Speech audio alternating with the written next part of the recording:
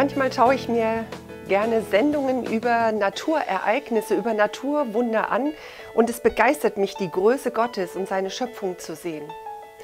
Vor kurzem hatte ich einen Film gesehen über die Polarregion, über die Taiga, wie dort Vegetation funktioniert und stattfindet, wie Bäume wachsen in diesen ähm, schwierigen Gegebenheiten. Was heißt wachsen? Ich war erstaunt, dass es überhaupt unter dieser dicken Decke von Eis und Schnee Wachstum oder Leben geben konnte.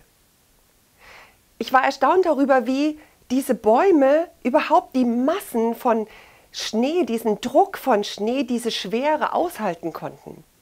Und darüber, wie sie wenn die Temperatur anstieg, wie diese Last von ihnen genommen wurde und wie die Zweige sich ausgebreitet haben und wie wieder dieses neue Leben aufgestiegen ist. Es waren in Zeitrafferaufnahmen Blumenteppiche zu sehen, die vorher unter wirklich einer dicken, dicken Eis- und Schneeschicht verborgen waren.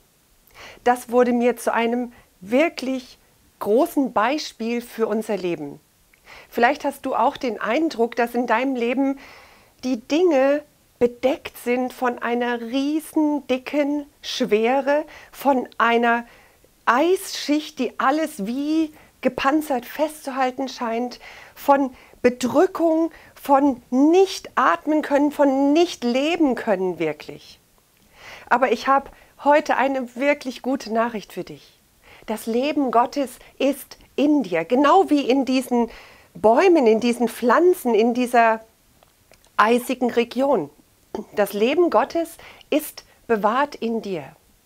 Wir beten ganz oft und sehr regelmäßig für unsere Partner von Gottes Haus und als wir jetzt gebetet haben, hatte ich genau in dieser ähm, Übereinstimmung ein Wort, was ich dir gerne weitergeben möchte. Fürchte dich nicht, dein Leben steht in meinen Händen. Du gehst durch verschiedene Zeiten, aber immer bist du in meiner Hand und nichts kann dir schaden. Ich verwandle das, was gegen dich steht, in Sieg.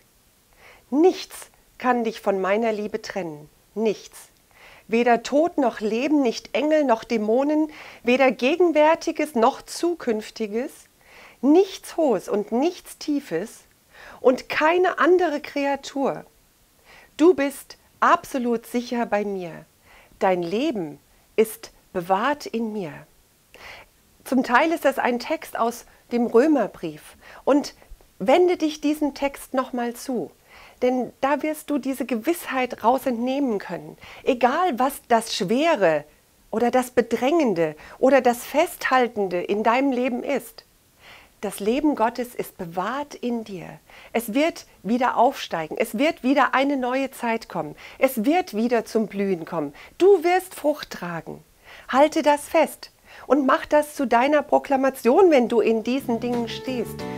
Ich weiß, nichts wird mich aus der Hand Gottes reißen. Nichts wird mich von seiner Liebe trennen. Nichts. Gottes Leben ist bewahrt in mir. Ich wünsche dir, dass du erfährst, Gott hat mehr für mich.